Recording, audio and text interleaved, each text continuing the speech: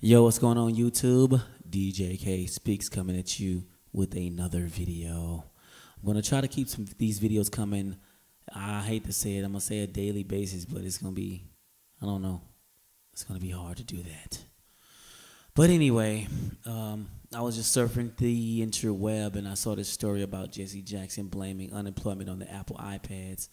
And basically, what he's getting at is a lot of stores, bookstores have closed um, you know, due to the fact that you can get digital books, you know, you can get digital books and read them on your iPad. So I can kind of understand where he's going with that, you know, and uh, it's just like the internet. The internet has changed um, the way we uh, take care of our own business. Like I pay all my bills on the computer. I, you know, pretty much the computer's used for I mean, I buy stuff on her and everything. So, yeah, I mean, the postal service is not doing well either because who uses who really mails stuff nowadays?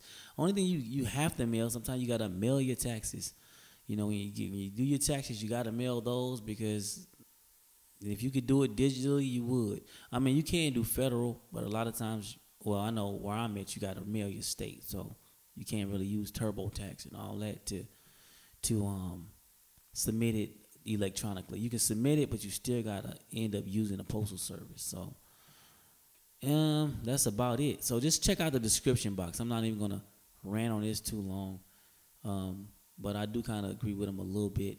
Just like he said, the Apple iPads are being created created over in China, so it's not uh, creating jobs for Americans, and that's true. It's not. It's creating jobs for Chinese people or whatever over in China. But it's not doing anything for us why not uh, build a plant in America and and uh, have Americans create, you know, put together this iPad, manufacture the iPad in the states? Why they got to do it overseas? Because the labor is cheaper. That's probably why. But still, they should do it over here to create jobs, not you know sending everything overseas. So with that being said, drop a comment. Let me know what you think about that, and um, I'll put this information for this story in the description box, and I'll catch you guys on the next video.